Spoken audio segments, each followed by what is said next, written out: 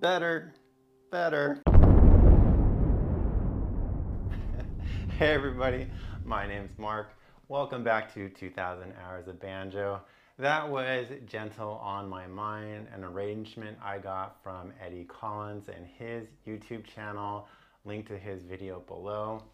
And if you didn't see my last video, and based on the view counter, you probably didn't see it. But this is how I was playing Gentle on My Mind just 18 days ago. Check it out here.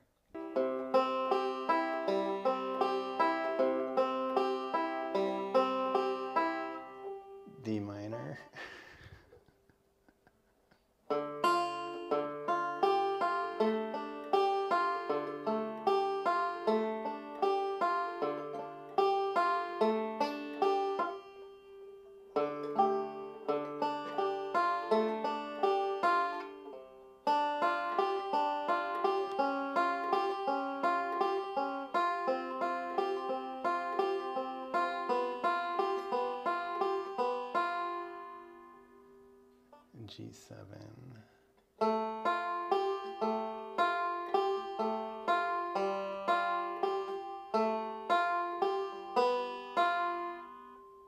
C.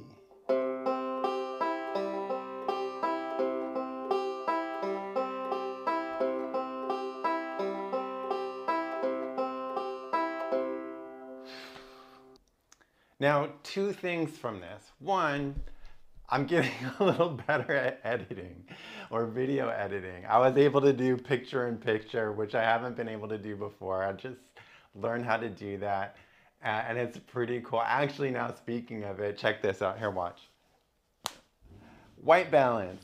I didn't know what white balance was, but now I can do it. So hopefully all my videos moving forward will be white balanced. Apparently it's something along the lines of the human eye knows how to register the color white in different lighting conditions, but digital lenses, like what's in the camera recording me now, has trouble doing it. So you have to adjust for that. And that's called white balance. I think that's what white balance is. That's as close as I can get to it. And really, I don't care. But moving forward, my videos will be white balanced, So if it's been a thing that's been bothering you, have no fear.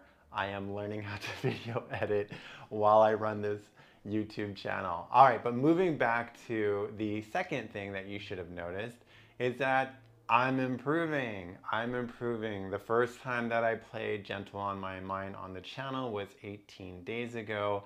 And I would say that what I did in the beginning of this video is a vast improvement. And you're probably thinking to yourself, well, no kidding, Mark. Uh, the last video was 566 hours of practice. This one is at 596 hours, getting close to that 600 hour mark. 596 hours, that's 30 hours. You've been practicing that song for 30 hours. You should be better at it. In fact, you should probably be a little bit more better than what you were today. But what if I told you I didn't play or practice 30 straight hours or 30 hours on Gentle on My Mind? And in fact, I did not. Most of my practice, I do practice about an hour and a half to two hours a day, two hours if I can manage it. But I'm not practicing or spending all that time on a new song like Gentle on My Mind. I've got a lot of other drills to practice. I'm practicing to make sure I'm keeping up and improving on my old songs. I'm practicing to try to improve the tone of my old songs and improve the speed or increase the speed. I'm also practicing, you know, with the metronome, doing metronome drills and practicing with the backing track from Strum Machine. And so there's a lot of other things that I'm practicing in that hour and a half to two hours. In fact, the amount of time that I'm spending on Gentle on My Mind is about 10 minutes per practice. Now, this is how it works. I choose a song that I want to learn next, and I kind of get the arrangement, the tablature memorized so I can just focus on learning how to play it. And then in the next lesson with my instructor, Mike, I, we, we talk about it. We talk about the new song and where I'm having problems. In this particular case, you may have noticed that I was having a problem with the chord progression from C to D minor. Now, sorry, street noise. C, this is, uh, for Gentle on My Mind, I tuned the fourth string down from, uh, sorry, from D to C. So the C chord now is, is simply this. With the fourth string tuned to D, it would have been this. This is the C chord. But now that the fourth string is tuned, tuned down to C, this is the C chord. So going from C to D minor was the big issue. So what did we do? Well, we discussed it. We discussed the issue. We focused on it and we developed a drill, basically running loops on just that transition from C to D minor. So that's C moving to D minor and then back to C. And then D minor again. And the idea here is not to practice like I'm demonstrating it now, but actually to try to practice it in time.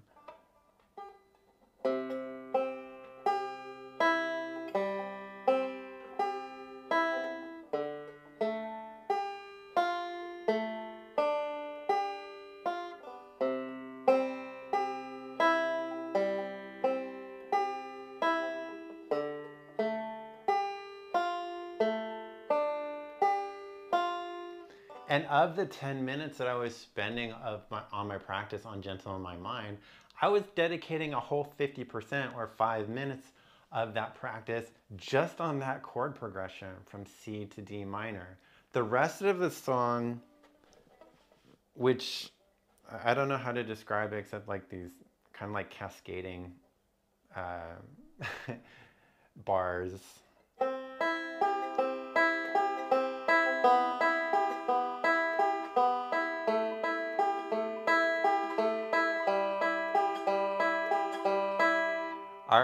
actually pretty easy.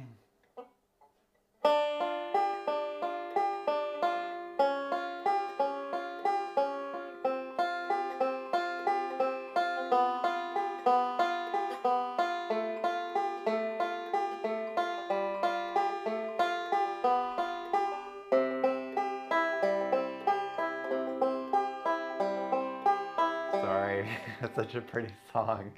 Anyway, the rest of the song was pretty easy, so I was able to dedicate the other five minutes of the 10 minutes to the rest of the song, but focus just on that treble spot for five minutes total on the C to D minor. So if you think about it over the span of 18 days, 10 minutes would be three hours. And then actually on the trouble spot that I've been working on, five minutes every day for 18 days, that was only an hour and a half. So literally, I only practiced an hour and a half on that, the toughest part of the song. And that worked wonders over the span of 18 days. What's crazy is you keep hearing that this uh, the the key to progress is you know you got the consistency, the practicing every day, um, no matter how many minutes.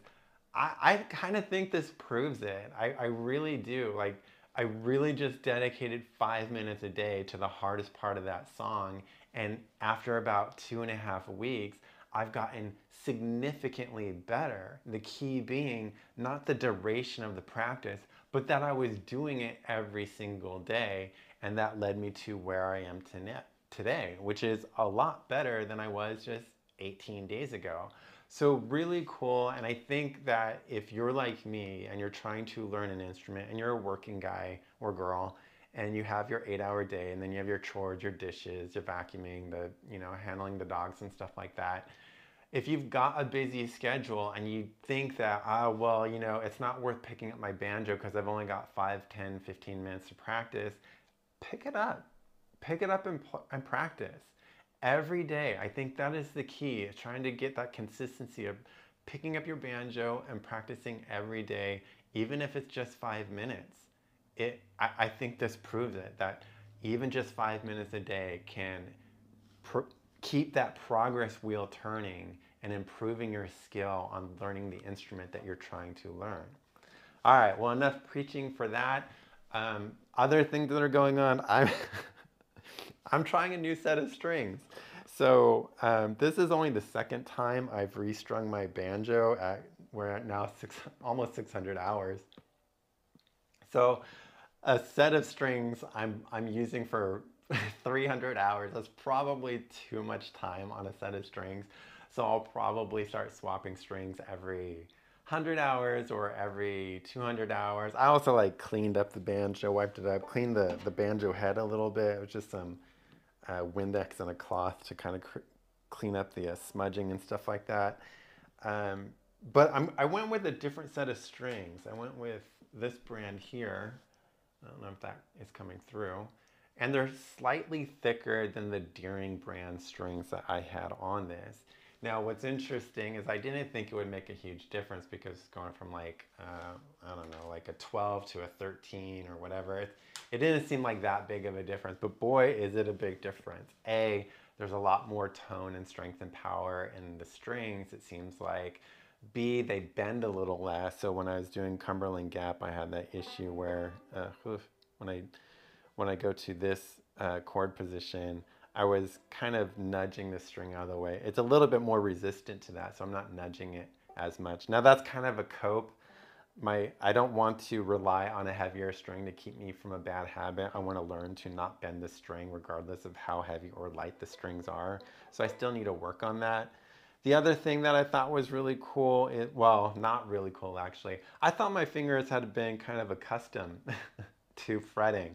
But once I put on these heavy, heavier strings, I had to break in my fingertips almost all over again. It took a lot less time. In two weeks, my fingers are fine, but my fingertips were tender for the first week or so on these new strings. The other thing is, this one has like a gold or bronze uh, fourth string. It's like a phosphor bronze or whatever like that. And I think it's pretty cool, but right off the bat, since it stands out so much, from the other strings and I still rely on a little bit of, of visual, you know, eye-hand coordination to locate my frets. That D, that, that orange string was throwing me off. My eyes were going directly to it and I was kind of losing my way with the strings, but I adapted pretty quick in about a week or so. Um, the other thing, and this just may be me, uh, so if it is, then it is, but does anybody else bleed every time they change their strings? Now, granted, I've only changed my strings twice, but each time I've bled. And what happens is, you know, I, I detension the string, I clip it. This, this portion that is hooped to the tail piece is fine. Then I get to this piece where I'm like unraveling it, but there's a, still a curled piece that I need to pull through the eyelet and the tuner. And when I do, it snaps back and it it like a scorpion, you know, and it just stung me and uh, got punctured my finger and I started bleeding, just like the first time. So I need to, I don't know, wear gloves, be a little bit more careful or something like that. But if you're not the only one, if I'm not the only one that bleeds when they change the strings, let me know in the comments. Now, lastly, uh, and I don't talk about subscriptions or subscribers that much, but we're close to 500 subscribers. I think today we're at 591, or no, I'm sorry, 491. We're really close to that 500 mark. So I did get the channel a little bit of a gift for when we reach the 500 mark. So if we get the subscribers up to 500, I'll present that gift on the channel to show you what it is. Um, and then lastly, I guess, uh, is we're close to 600 hours. So as tradition, I'll be doing my blindfold test to see if I can play certain songs blindfolded. It's kind of a dumb tradition that I started where I'm doing that every 200 hours. So I did it last at 400 hours. I'll be doing it again at 600 hours. We're really, really close to that. And we're moving quite along. I am able to hit that hour and a half and sometimes two hours a day of practice. It is a lot of practice, and I know a lot of people can't do that, but I'm trying to fit it in where I can. On the weekends, I, I can tend to get the two hours in. On weekdays, it's a struggle, but I can get that hour and a half in. So anyway, we're, we're moving quite along pretty good. I think we're going to hit that, that mark of 200, around, uh, sorry, 750 hours by the end of the year, which will get me caught up from the three and a half months I took off when I injured my finger. Anyway, I've got some practice to do. I will see you next time. Thanks for tuning in. Bye.